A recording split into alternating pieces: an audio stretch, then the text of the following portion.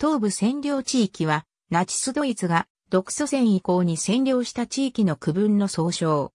アルフレート・ローゼンベルクが大臣である東部、占領地域省の管轄下に置かれ、国家弁務官が現地の統治に当たった。ウクライナの行政区分図ウクライナ国家弁務官区は、現在のウクライナの領域の大部分を統治した。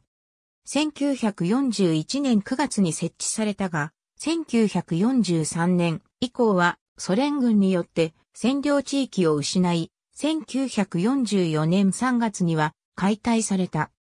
オストラントの行政区分図オストラント国家弁務官区は、現在のバルト三国、ベラルーシの領域を統治下に置いた。1944年後半からソ連軍によってドイツ軍が包囲され、1945年1月以降はクールラントに包囲されたまま終戦を迎えた。ありがとうございます。